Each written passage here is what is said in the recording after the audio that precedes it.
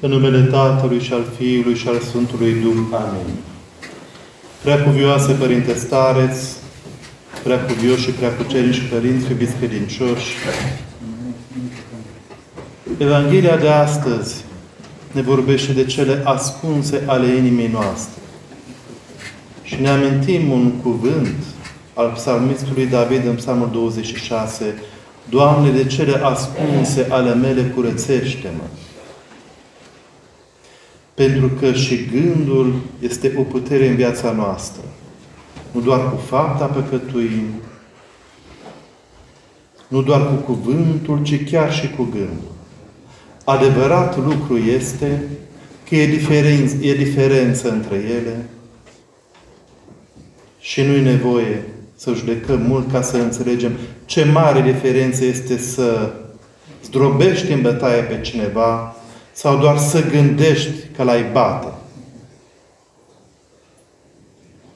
Însă păcatul cu gândul și gândul însuși este o putere care schimbă viața noastră și după cum gândul nostru lucrează, tot astfel și Dumnezeu rânduiește în viața noastră oameni și evenimente și lucruri care ne duc spre mai multă roadă, spre mângâiere și bucurie a noastră în primul rând și a celor din jurul nostru.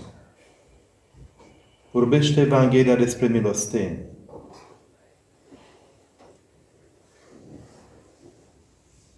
Întâi, pentru că în acel timp, îndeosebi, propovăduitorii de lege făceau ostentativ această milostenie. Dar chiar fără să o facem ostentativ, iubiți credincioși, gândul nostru poate să nu fie curat în fața lui Dumnezeu și de aceea Dumnezeu pe unii îi alege și pe unii nu. Cain și Abel au adus amândoi jertfă înaintea lui Dumnezeu. Pe Abel l-a fericit Domnul și a privit cu bucurie spre jertfa sa și pe Cain nu. Pentru că gândul lui Cain și jertfa lui nu erau curate precum ale lui Abel. Într-adevăr, să facem un exercițiu de imaginație, să ne gândim că mergem pe stradă, mai ales noi ca preoți. Poate cineva îmi cere un ban și poate chiar mă simt săcăit și nu cred în durerea lui și dau un ban mai ales cu gândul că poate mă vede cel din spate. Să scap mai repede de acest lucru.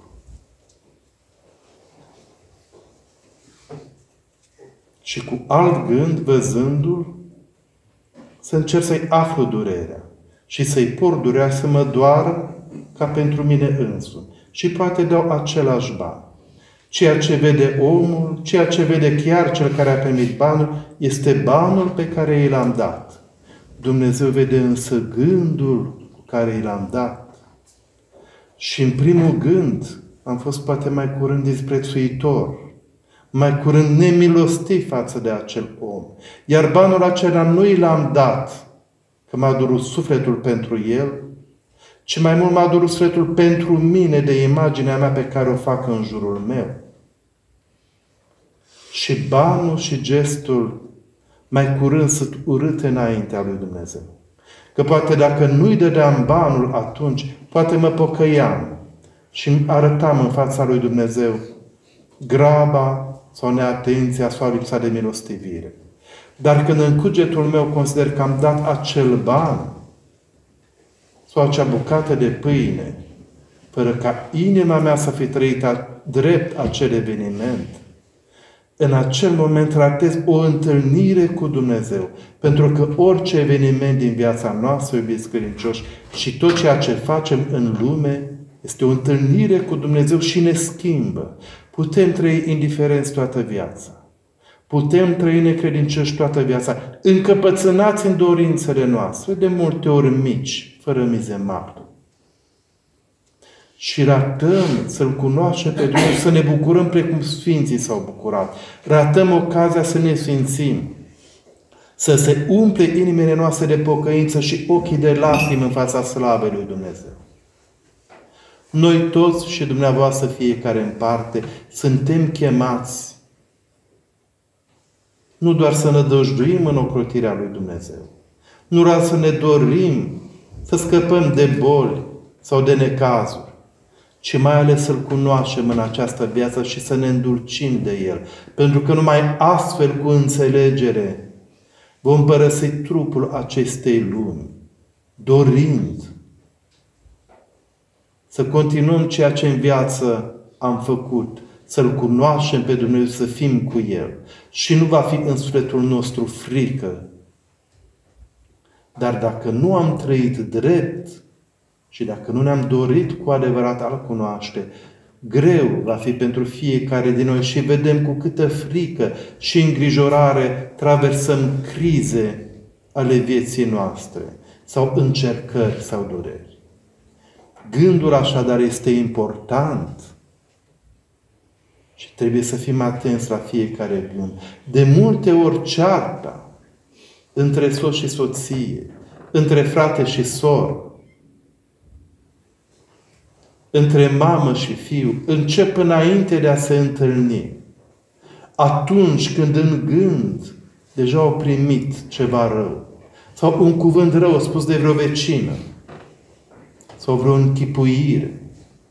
Și când ți-a intrat omul în casă, chiar dacă ai spus bine ai venit, privirea ta și îmbrățișarea ta rece trădează că de fapt nu te bucuri. Că de fapt nu pacea o cauți acolo. Și că inima ta nu este aproape de acela. Și acela simte. De multe ori și animalul simte gândul cu care te apropii de el dacă te apropii cu gând bun sau nu. Să dăm așadar atenție gândurilor noastre. Și părinții din mănăstiri, atenție gândului cu care săvârșesc ce au de săvârșit. Și cei din casele dumneavoastră, din curțile dumneavoastră, din familiile dumneavoastră, atenție cu gândul cu care vă întâmpinați unul pe altul, soț și soție cu gândul cu care răbdați pe copii sau vă rugați pentru ei, cu gândul cu care primiți toate încercările vieții. Și să nu uităm, iubiți credincioși, că în viața aceasta nu suntem singuri. Ne-a pus Dumnezeu ca învățătură și în biserică o facem atât de des, rugăciunea aceasta scurtă, Tatăl nostru care ești în ceruri, Facă-se voia ta, sfințească-se numele tău, precum în cer, așa și pe pământ. Putea să ne învețe să-L numim stăpânul nostru, căci este. Dumnezeu cel atotputernic că este, învățătorul nostru că este. De ce ne-a învățat să-L numim Tatăl nostru? Copilul, chiar dacă a făcut vreo poznă, tot la tată în casă intră. Și chiar dacă va fi certat sau poate chiar primește o palmă, relația lui cu Tatăl rămâne cât ține viața aceasta. Și se adâncește și învață să treacă peste supărări și dragostea se află și mai încercată. Și orice nevrednicie și orice rău ar face copilul, Tatăl, până la urmă, nu uită privirea lui nevinovată de copil și va fi alături și se va îngrijora pentru el și tot ce va avea Tatăl îi va da. Niciun tată nu-i vorbește copilului în copilărie de cele pe care trebuie să le audă ca adult. Nici Dumnezeu nu ne descoperă toate în vârsta prunciei noastre duhovnicești. Niciun tată nu-i dă copilului zeci de milioane când are doar 3-4 ani. Nici Dumnezeu nu ne dă tot ceea ce în visele noastre nebunești am dorit să avem dintr-o dată. Dar niciodată un tată nu-și va lăsa copilul în primejdie sau în lipsă sau mințit sau înspăimântat. Tatăl este atent ca pruncul să simtă siguranță. Și Tatăl nostru cel din cer veghează la pașii noștri. Să veghem și noi, iubiți credincioși, ca pașii noștri și gândurile noastre să le îndreptăm într-o adevăr, într-o cinste neprihănită către Dumnezeu și atunci se va împlini și noi cuvintele pe care le rostim sfințească-se numele Tău, precum în cer, așa și pe pământ. Amin.